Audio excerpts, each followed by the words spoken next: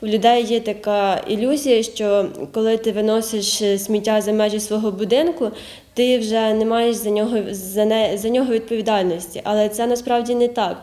Анастасія Якимець декілька років жила та працювала у різних країнах. Після повернення до України побачила, що тут досі переважно не сортують сміття. Пусті скляні пляшки, які дівчина бачила на вулицях міста, стали для неї мотивацією для творчості. Це може бути просто як е, стаканчик, там, наприклад, для якихось пензликів, е, ручок, а але зазвичай це підсвічники. Цією творчістю я розпочала займатися е, восени минулого року.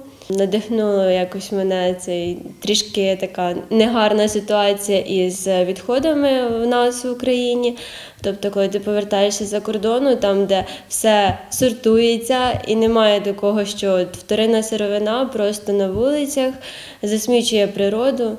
Тобто, ось це мене так підштовхнуло спробувати якось е, змінити це і е, от поставити такий знак оклику над цією проблемою. Анастасія розповідає, що з інтернету взяла взірці поробок зі скла. В інтернеті замовила спеціальний склоріз. Я розказала про цю ідею своєму чоловіку, він мене підтримав. Так, давай, ти творча людина, тобі треба щось таке робити. Малює акриловою фарбою та фарбою для вітражів. Тематика малюнків різна. Замовники, які евакуювалися за кордон, просять зображення рідних міст. Багато моїх знайомих, друзів за кордоном.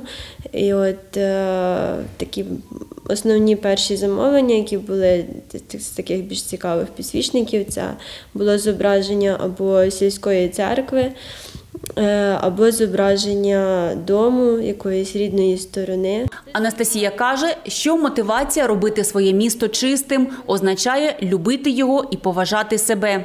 Дівчина ділиться досвідом майстерності у соціальних мережах. Меседж її сторінки будь добрим. От такий як головний посил цієї назви це що будь добрим, будь добрим до оточуючих, будь добрим до природи і будь добрим до себе. Вже зараз навіть там багато знайомих ну, там, коли мене бачать або там пишуть: «Е, Настя, у нас є пляшки скляні, ми тобі хочемо віддати. І це тобто, навіть е, я не скажу, що в мене є велика потреба в цьому зараз, тому що ну я вже знайшла, якось налагодила, і в мене їх є достатньо. Але я хочу їх забрати просто для того, щоб я відсортую і викину їх окремо. Тобто, це якби. е, Мене надихає це, тому що люди стали задумуватися про це, і ну я від цього щаслива. Тетяна Скоростенська, Тетяна Беляк, Суспільне, Новини, Житомир.